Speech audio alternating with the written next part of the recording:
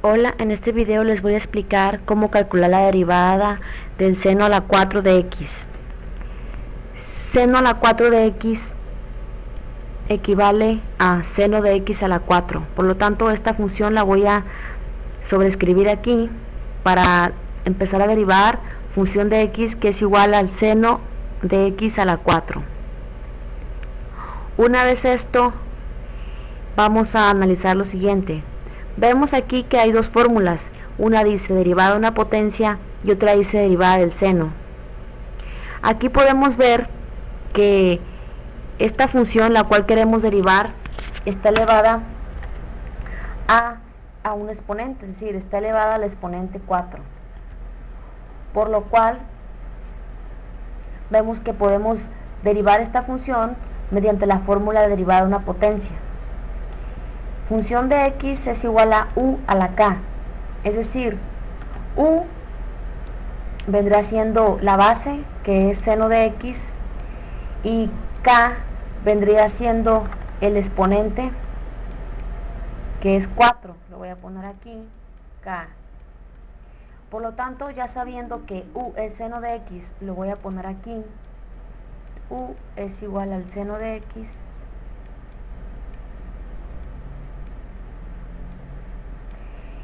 K viene siendo 4, es decir, el exponente 4.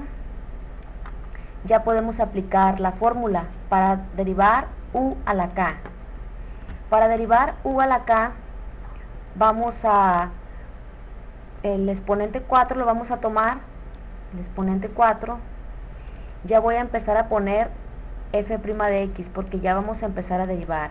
f' de x es igual a acá, que es 4 que multiplica a u, que es seno de x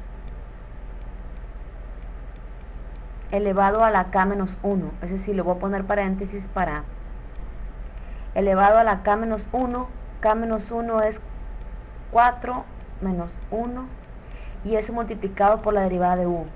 ¿Cuánto es la derivada de u?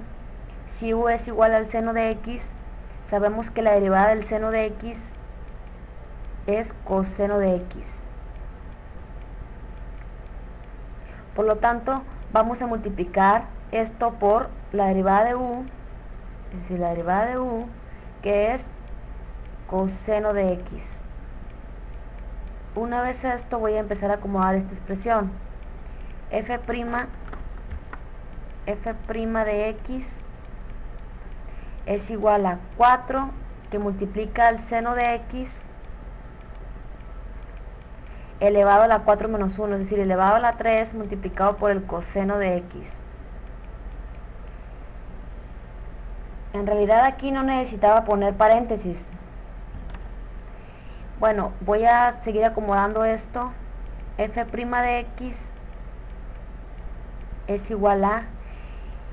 También seno de x al cubo equivale a seno al cubo de x.